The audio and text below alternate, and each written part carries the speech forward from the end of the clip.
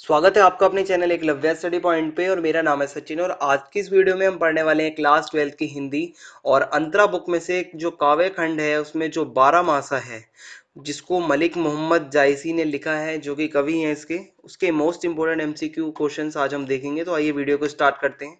और आपको बताना चाहूँगा कि अगर आपको नहीं पता कि आपको नोट्स कैसे पढ़ने हैं हमारी वेबसाइट से तो आपको बता देता हूँ कि स्टेप वन है आपको गूगल पे जाना है और वहाँ पे सर्च बार पे Eklavya study point dot com लिखना है।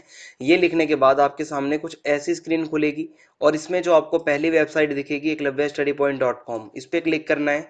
इस पर क्लिक करने के बाद आप हमारे वेबसाइट पे आ जाएँगे और आपके सामने होम पेज खुलेगा। और ये जो तीन लाइन आपको दिख रही हैं, इस पर क्लिक करने के बाद आपके सामने सब्जेक्ट सॉरी क्लासेस की कैटेगरी खुल जाएँगी। और क्लास ट्वेल्व पे जब आप क्लिक करोगे तो आपके सामने सब्जेक्ट्स की कैटेगरी आ जाएँगी। और जो भी सब्जेक्ट के नोट्स आप पढ़ना चाहते हैं, आप यहाँ से आके फिर पढ़ पाएँगे। और आज की जो वीडियो है, इसमें आपको चार विकल्प मिलेंगे, ठीक है? बहुवैल्क जो है, बहुवैकल्पिक प्रश्न होंगे आपके। और एक या दो क्वेश्चन के आंसर्स मैं आपसे पूछूँगा, आप मुझे कमेंट बॉक्स में बताएँगे। तो आज का हमारा पहला प्रश्न है बारह मासा वर्णन, जायसी के किस महाकाव्य से लिया गया है? ठीक है, आपको बताना है जो बारह मासा है, इसका वर्णन जायसी के किस महाकाव्य से लिया गया है? पहला विकल्प है अखरावट, दूसरा विकल्प है पद्मावत और तीसरा विकल्प है रामचरित मानस, चौथा विकल्प है नागमती। तो बारह मासा जो ये है, ये जायसी के पद्मावत महाकाव्य से लिया गया है, ठीक है? तो खा जो विकल्प है, ये सही हो जाएगा। दूसरा प्रश्न है आपके सामने कि बारह मासा में किसके वियोग का वर्णन किया गया है? ठीक है, आपको बताना है कि बारह मासा जो है, इसमें किसके वियोग का वर्णन किया गया है? तो पहला विकल्प है रत्नसेन के, दूसरा विकल्प है जायसी का, ठीक है, तीसरा विकल्प है उनकी प्रेमिका का, चौथा विकल्प है नागमती का। तो बारह मासा जो कविता है, ठीक है, इसके अंदर जो है नागमती के वियोग का वर्णन किया गया है। तो जो घा है, वो विकल्प सही हो जाएगा। तीसरा प्रश्न है आपके सामने, अगन मास में दिन और रात की स्थिति कैसी हो जाती है? ठीक है, जब अगन का महीना आता है तो दिन और रात कैसे हो जाते हैं? पहला विकल्प है आपके सामने, दिन घटता है और रातें लंबी हो जाती हैं। दूसरा विकल्प है, रातें छोटी तथा दिन लंबे हो जाते हैं। तीसरा विकल्प है, दिन रात दोनों घटते हैं। चौथा विकल्प है, उपरोक्त सभी। तो इसमें क्या होता है, जब अगन मास आता है, यानी कि जब अगन का महीना आता है तो दिन घटता है और रातें लंबी हो जाती हैं, ठीक है? कुछ ऐसी ही विशेषता हमने कविता में देखी है तो का विकल्प इसका सही हो जाएगा। चौथा प्रश्न है, नागमती को अगन मास कष्टदायी क्यों लगता है? ठीक है, जो अगन का जो महीना है, वो नागमती को क्यों ऐसा लगता है कि ये कष्टदायी है? तो पहला विकल्प है, क्योंकि उसके पास घर नहीं था, दूसरा विकल्प है, क्योंकि उसके पास कंबल नहीं था तीसरा विकल्प है क्योंकि उसके पास प्रिय रत्न सेन उसके साथ नहीं था और चौथा विकल्प है इनमें से कोई नहीं। तो इसमें जो सही उत्तर होगा, आप इसमें बता सकते हैं कि क्योंकि जो रत्न सेन थे, जो उनके प्रियतम थे, वो उनके साथ नहीं थे और इसीलिए नागमती को अगन मास का जो ये महीना है, ये जो मास है, ये कष्टदायी लगता है। पांचवा प्रश्न है आपके सामने। अघन मास आने पर सभी के घरों में क्या क्या तैयारियाँ होने लगी? ठीक है? कि कुछ इसमें कविता में बताया गया है कि अगन मास जैसे ही आता है तो कुछ लोग मतलब जो होते हैं, घरों में तैयारियाँ करने लगते हैं। क्या क्या तैयारी करते हैं?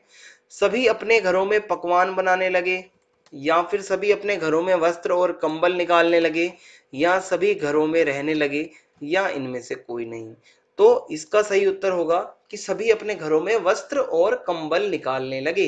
क्योंकि अगन मास का जब महीना आया तो सभी ने अपने घरों में ये सब तैयारियाँ करी कि सभी ने अपने कपड़े और कंबल निकाले तो खा, विकल्प सही हो जाएगा।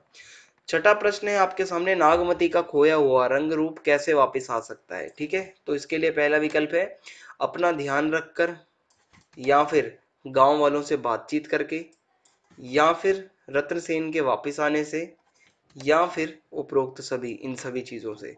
तो नागमती किस लिए दुखी हैं? क्योंकि रत्नसेन उनके साथ नहीं है और उनका खोया हुआ रंग रूप जो है नागमती का सिर्फ़ और सिर्फ़ रत्नसेन के वापस आने से आ सकता है, इसलिए गा जो है वो सही हो जाएगा। अब अगला प्रश्न है आपके सामने, नागमती को कौन सी आग जला रही थी? ठीक है, नागमती इस कविता में एक आग से जलती है। वो कैसी आग है, आपको बताना है? पहला विकल्प है, वियोग की आग है।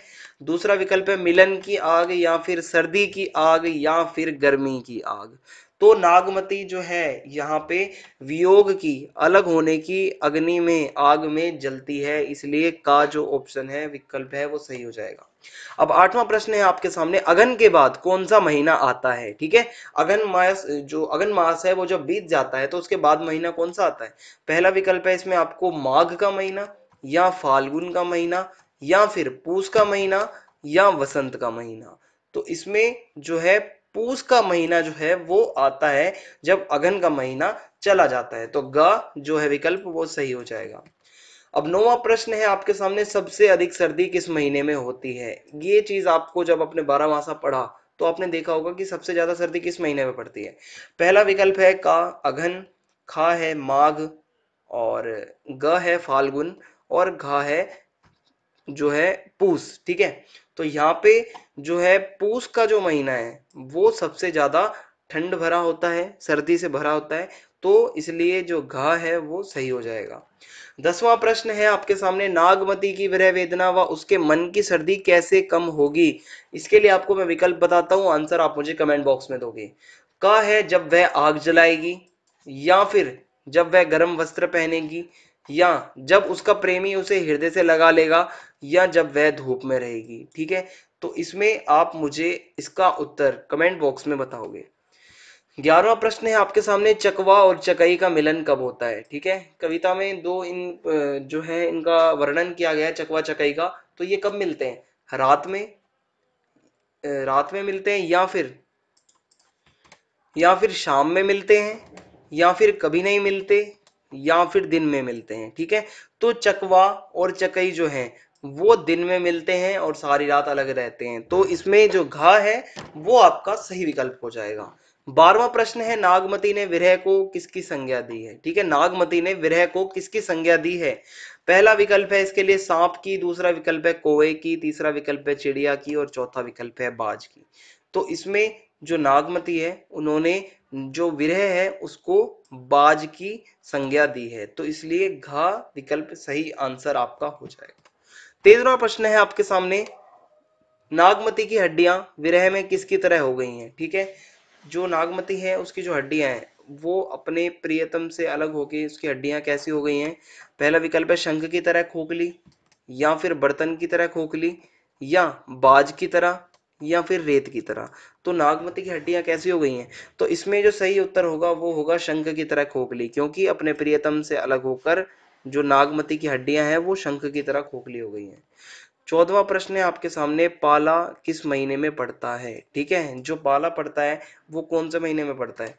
पहला विकल्प है पूस के महीने में, दूसरा विकल्प है आपके सामने अघन के महीने में, तीसरा विकल्प है माघ के महीने में, चौथा विकल्प है फाल्गुन के महीने में। तो इसमें जो सही उत्तर होगा, वो होगा माघ के महीने में, क्योंकि जो पाला होता है, वो माघ के महीने में ही पड़ता है। अब पंद्रवा प्रश्न है, आपके सामने माघ महीने में नागमती की क्या स्थिति हो जाती है? ठीक है, जब माघ का महीना आता है तो पहला विकल्प है, आग के समान जलने लगता है, ठीक है? और दूसरा विकल्प है, रुई के समान जलने लगता है, या फिर विरह से जलने लगता है, या फिर संतृप्त हो जाता है, ठीक है? यहाँ पे आपको बताना है कि यहाँ पे जो माघ का महीना जब आता है तो नागमती की जो स्थिति है, वो कैसी हो जाती है? रुई के समान जो है उसका शरीर या नागमती जो है, वो जलने लगती है। तो इसलिए जो इसका सही आंसर होगा, वो होगा रुई के समान जलने लगता है। ठीक है? खा जो है, वो सही हो जाएगा। सोलवा प्रश्न है, अब आपके सामने माघ के महीने में नागमती के हृदय की स्थिति कैसी हो जाती है और इसकी तुलना किससे की गई है? ठीक है? माघ महीने में उनके हृदय की स्थिति कैसी होती है और इसकी तुलना किससे की गई है? तो पहला विकल्प है, वेदना से भवरों के समान भर जाती है या फिर दुख से पीड़ित है, चकवा चकई के समान, या फिर भावनाओं से फूलों के समान भावनाओं से फूलों के समान वो भर जाती है नागमती, ठीक है? या फिर इनमें से कोई नहीं। तो इसमें जो इसका सही उत्तर होगा, वो होगा गा, जो कि है भावनाओं से फूलों के समान नागमती भर जाती है।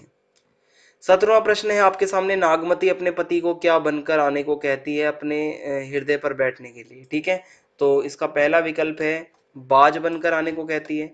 या हवा बन के आने को कहती है, या फूल बन के आने को कहती है, या भवरा बन के आने को कहती है। तो नागमती अपने पति को भवरा बन के आने को कहती हैं और कहती है कि उनके हृदय पे आके वो बैठे भवरा बन के।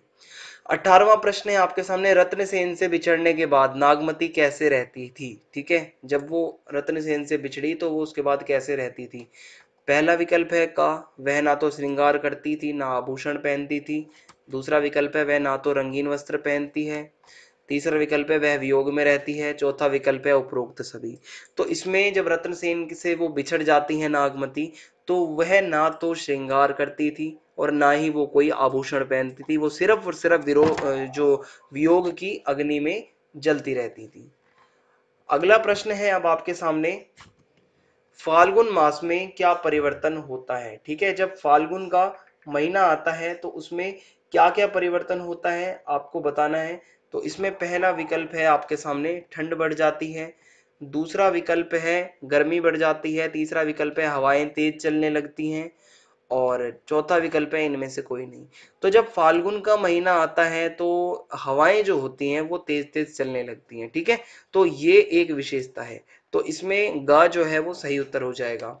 बीसवां प्रश्न है अब आपके सामने, नागमती अंत में हवाओं से क्या संदेश भेजती है? ठीक है, नागमती अंत में हवाओं से क्या संदेश भेजती है? इसका आंसर आप मुझे कमेंट बॉक्स में दोगे। विकल्प है इसके लिए का, उसके पति को वापस ले आए। खा उसका उसको उसके पति से मिला दे। और गा है उसके पति को, उसके विरह की सूचना दे। और घा है उसके शरीर की राख को, उसके पति के पथ पर ले जाए। ठीक है तो ये हवाओं से आपको बताना है कि नागमती क्या संदेश भेजती है, इसका कमेंट बॉक्स में आप मुझे आंसर दोगे।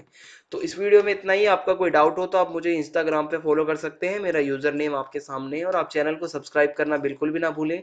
बेल आइकन दबा दें ताकि आने वाले वीडियोस के अपडेट आपको मिलते रहें। जय हिंद, जय भारत, धन्यवाद।